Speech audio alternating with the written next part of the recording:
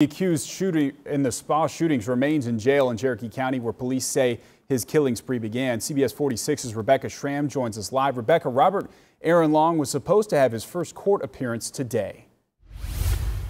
Yeah, and Rob, I've learned his attorney waived his appearance in court, which happens sometimes in high profile cases. Long remains behind bars uh, here in Cherokee County as people across the country try to wrap their head around what authorities are saying that he claimed he killed those people because he was addicted to sex and wanted to eliminate his temptations.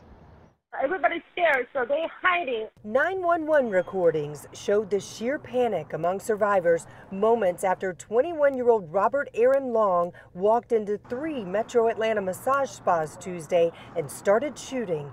When it was all over, eight people were dead, seven of them women, six Asian women. We're learning more about the victims at the site of the first shooting near Acworth. Among the dead there, the owner and an employee of Young's Asian Massage a customer, Delaina Gonzalez, and a handyman, Paul Michels, who, according to a friend, was there building shelves.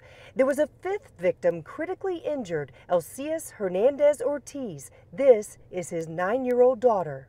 I don't really know what to do. I try to calm myself down.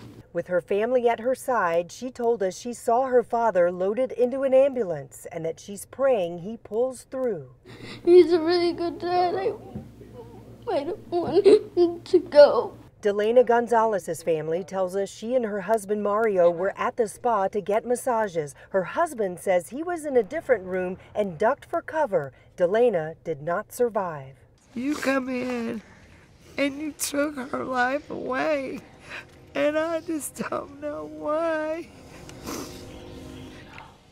I'm gonna miss her.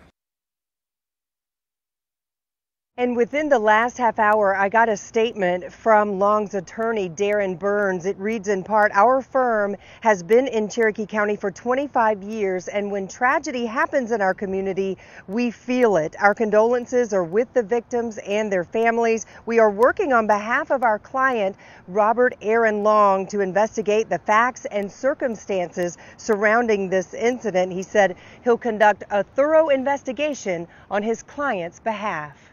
Live in Cherokee County, Rebecca Schramm, CBS 46 News.